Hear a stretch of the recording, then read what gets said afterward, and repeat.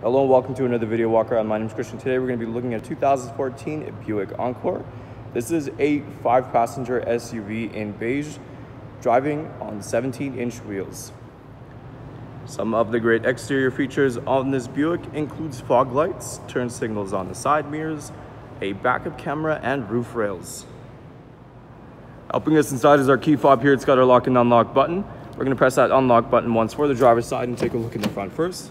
You can see in the side mirror, you have a blind spot monitoring system. If we take a look inside the door, you have this nice brown leather as well as this wood grain trim. Both run throughout the entire vehicle. Now, if we take a look inside, right up top, you have your power windows, the locks, and power adjustable side mirrors. You have a little bit of storage space in the center as well as on the bottom of the door.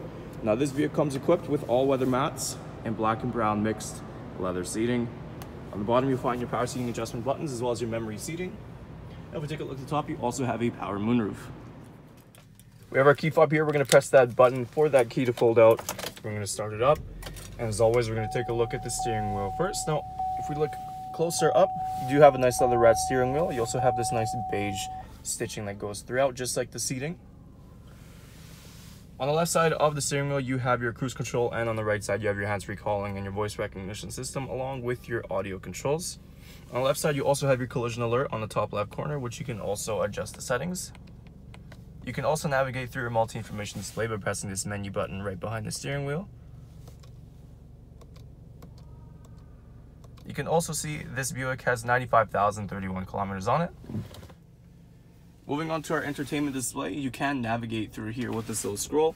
And right now we are on the home screen, which is right here. You have different options here, like your AM and FM radio. You have options like CD, and you can also connect your phone through Bluetooth. You do also have navigation there, which you can see. You can also have set your destination through this nice little shortcut on the bottom.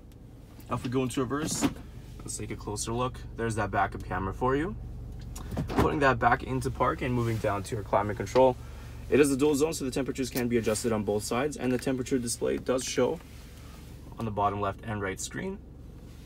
You also have your driver and passenger heated seats, as well as a heated steering wheel inside the center on the left. Looking down below that, you'll find your child locks, as well as your parking assist and your lane departure alert. Now on the bottom here, we have a little bit of storage space, as well as a USB port and a 12 volt outlet.